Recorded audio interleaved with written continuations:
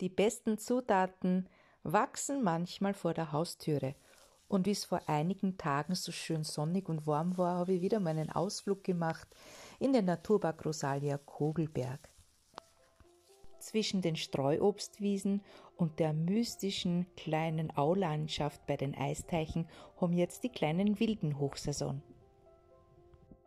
Aber zunächst einmal war ich von dem Gesumse und Gebrumm in den ersten aufblühenden Obstbäumen total fasziniert. Und das habe ich mal ordentlich genossen.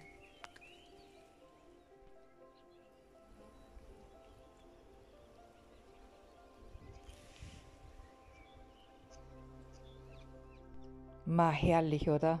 Und mittendrin in so einer Honigduftwolke, boah, da vergisst man kurz einmal alles andere. Na, da ist schon das nächste Dufterlebnis. Veilchen. Hm, ein paar passen sicher in meinen Frühlingssalat. Und Gänseblümchen für die Bitterstoffe und für Vitamin C nehme ich auch ein paar mit. Aber die Himmelschlüssel, die bleiben da. Die sind schon viel zu selten geworden. Aber ein bisschen was vom persischen Ehrenpreis darf mit. Und Brennnessel sowieso. Löwenzahn, ja, jetzt sind Bitterstoffe angesagt. Ganz vorsichtig mache ich jetzt ein paar Schritte in die kleine Au hinein. Beim letzten Mal hätte ich nämlich fast ein Entenpaar beim Brüten gestört und das möchte ich nicht.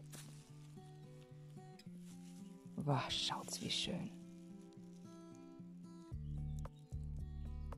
Das ist ein Paradies.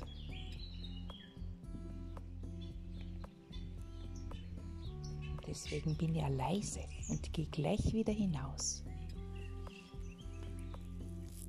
Kirsch nehme ich ein bisschen mit. Genau, und die Taubnesseln, ein bisschen so Lungenkraut, wunderbare essbare Blüten, die geben dem Salat dann ein bisschen Farbe.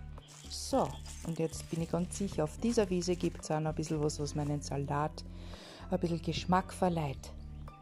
Da drüben auf dem Platzl gibt's meistens schon eine Gundelrebe. Ich mag den pfeffrig-minzigen Geschmack. Ja, da ist sie schon. Und ein bisschen Beifuß und Wiesenbeerenklau.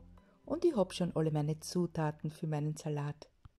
Und egal ob mit Honig-Senf-Marinade oder mit ein bisschen gekochter und ausgekühlter Hirse untergehoben, weder der Frühjahrsmüdigkeit noch den Winterschlacken schmeckt mein Rosalia-Salat. Das macht nix. Mir umso mehr.